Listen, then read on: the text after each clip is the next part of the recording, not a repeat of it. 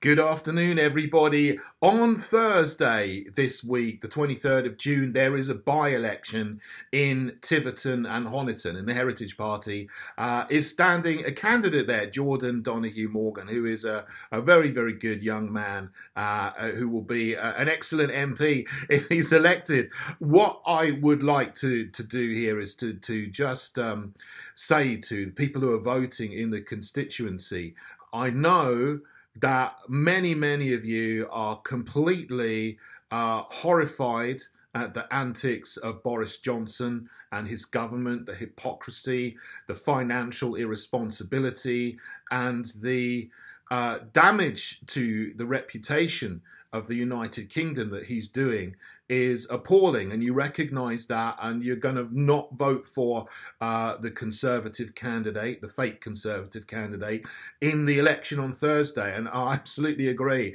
And I would say, you know, they are irredeemable as a party. We need to reject them everywhere to restore common sense and sanity to our nation and to walk and live once again in the great heritage that we have of our country. But from the beginning of this election campaign, the mainstream media has talked up the Liberal Democrats as being the alternative that people are going to vote for uh, to vote against Boris Johnson. Now, I know uh, that many, many people are going to vote against Boris Johnson, but the Liberal Democrats are not the party to vote for because they're going to just carry on in exactly the same program with exactly the same policies that the fake conservatives are doing, as would Labour, as would the Greens.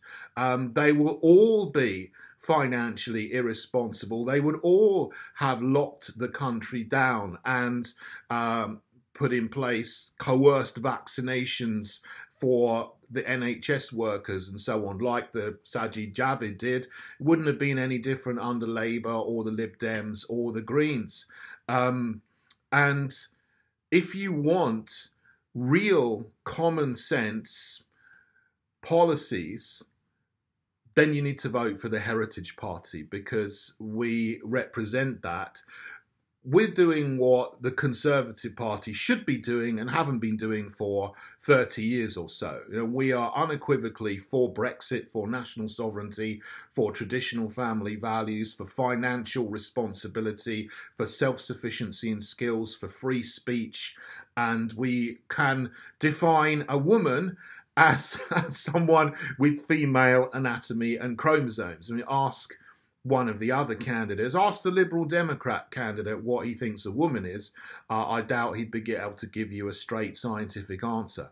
Um, so please do vote for the Heritage Party on Thursday in Tiverton and Honiton because you can vote against Boris without having to vote for somebody who would undo Brexit and couldn't define a woman properly, which is what you would get with Labour the Lib Dems and the Greens. So do have a look at our manifesto. I'll put the link to our website in the information box there.